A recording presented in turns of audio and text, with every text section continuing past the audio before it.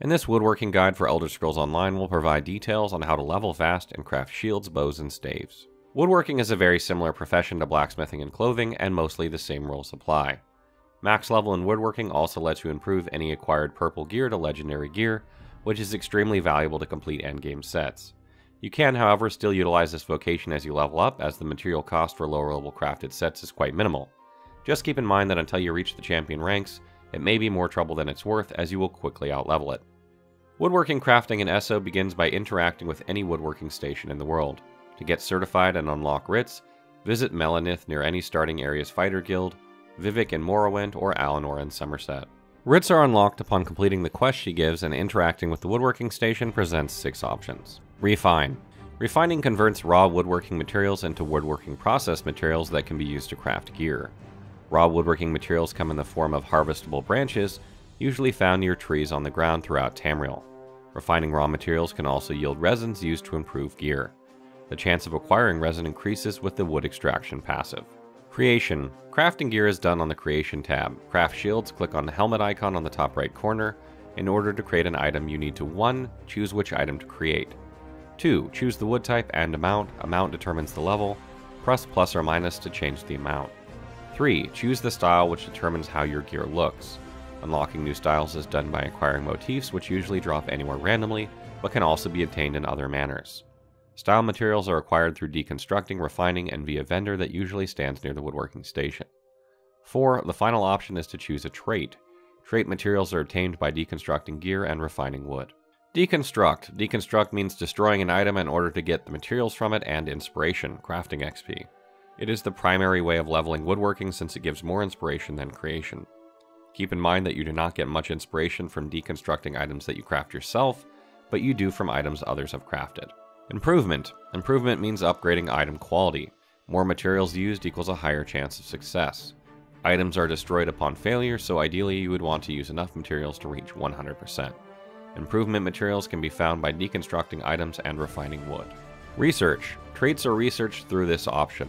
Items can be researched only if they have the magnifying glass icon next to it. Upon successful trait research, you are given an option to use the trait in creation, but only for that same piece of equipment you acquired the trait from. For example, if power trait has been researched from the restoration staff, you can use the power trait on any future restoration staff created. Blueprints. The blueprints option is used to create furnishings. Recipes for more furnishings drop randomly and can also be bought from guild traders and guild stores. These usually require a special material called heartwood in order to create. Heartwood is acquired randomly from looting wood nodes.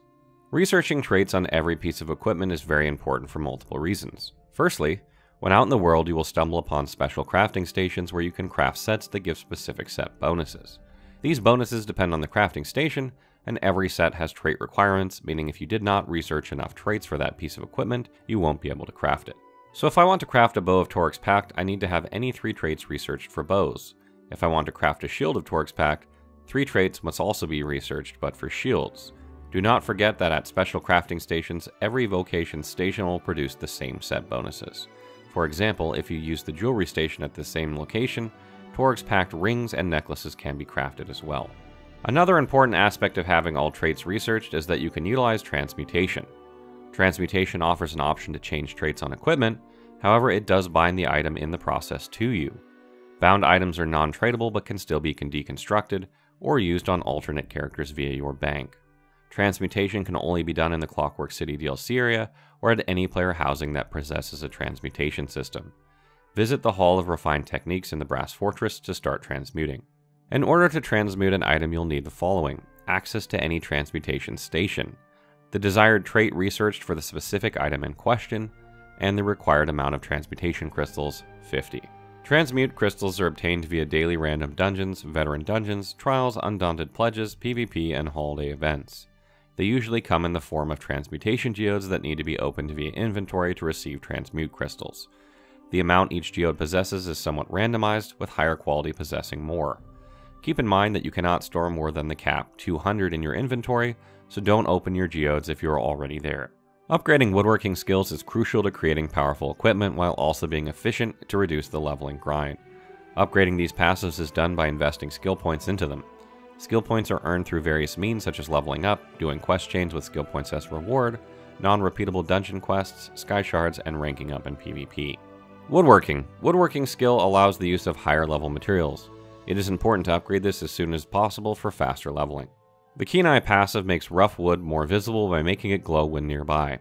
Rough wood is relatively easy to spot, making this passive optional, but it doesn't hurt to place one point here if you can spare it. Lumberjack Hireling. The Hireling passive enables a hireling to collect woodworking materials while the player is offline. Useful for amassing materials for endgame, but isn't required.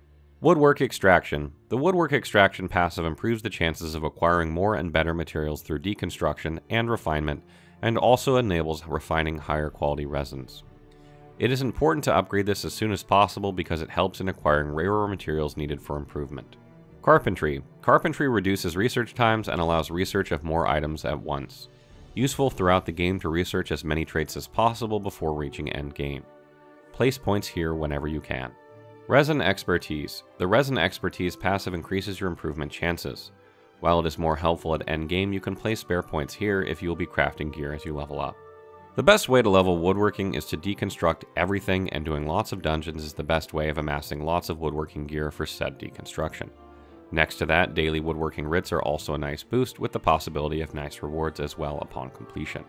The fastest woodworking leveling method is with a friend or an alternate character, and the following is a step by step guide.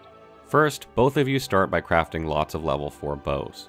Next, trade with the alt via the bank or with a friend and deconstruct what each other has crafted for maximum inspiration. Repeat the first two steps until woodworking rank 5 is achieved. Upgrade the woodworking passive. Both start crafting lots of level 16 bows, trade, and deconstruct until woodworking rank 10 is achieved. Then upgrade the woodworking passive again. Keep crafting bows in this order while repeating the above steps level 26, 36, 46, CP 10, 40, 80, 100. Visit guild traders and guild stores if low on materials. Final tips Woodworking in ESO is a rewarding endgame vocation where you can craft powerful shields, bows, and staves by using harvested rough wood around the world. Woodworking is useful for every role as healers and light armor DPS will need staves, stamina DPS will need bows, and tanks will need shields. Learn where the best places to farm wood are because there are definitely better places than others. Heavily wooded areas are probably the best, but some other areas are known for having a lot of wood as well, like the Clockwork City for example. Do not refine any more materials than is necessary to craft what you need until you have maxed out the woodwork extraction passive. This will give you the highest yield of rosin which is used to upgrade epic quality items to legendary. These are valuable items and there is no reason to waste the opportunity to acquire them by processing materials you do not even need. As with any crafting vocation, inspiration gain can be boosted by 10% from ESO+, 10% from the Orc race, and 20% from the Inspiration Boost Champion skill. Stay tuned for more SO guides as we take on crafting, dungeons, PvP, and of course builds.